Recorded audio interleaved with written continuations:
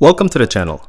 Today I will share with you the ultimate desk setup featuring the M1 MacBook Pro and RTX 3090. Let's jump right in. To start, my desk is the IKEA Idasen. It's the 60 by 30 inches. I did not go with the sit stand version of this as I mainly use it for gaming. The desk is sturdy and fits my equipment.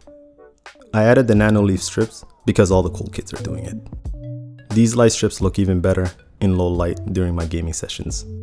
The chair is made by Nightingale and the model is the CXO 6200D. This chair is incredibly sturdy and comfortable.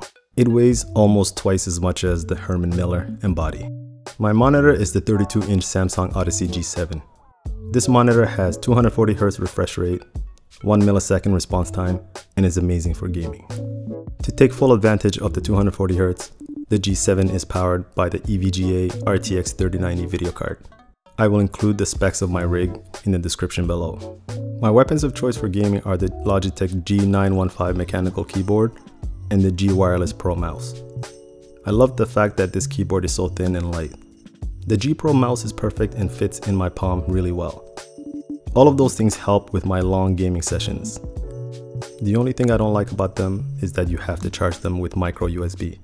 Come on Logitech, it's time for USB-C. If you're enjoying this video, take a moment to subscribe and turn on the notifications. For audio, I'm using the Rodecaster Pro. The quality and control you have on this audio interface is second to none. The Rodecaster Pro is paired with the Rode PodMic. I have it on the Rode PSA-1 arm. This makes it very easy to use when you are ready. For my main headset, I use the Audio Technica's M40s. The sound they produce is crystal clear and they fit well on my head even when wearing a hat. I also use the SteelSeries Arctic 7 when I want more mobility in the studio. This headset rests on a stand that I purchased on Amazon. I will leave the link in the description below. For video editing, I use the M1 MacBook Pro.